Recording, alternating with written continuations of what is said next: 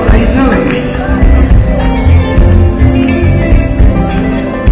We are following the Europeans, the Chinese, the Japanese, the Americans who will give us cheese and only rob us of our daily bread.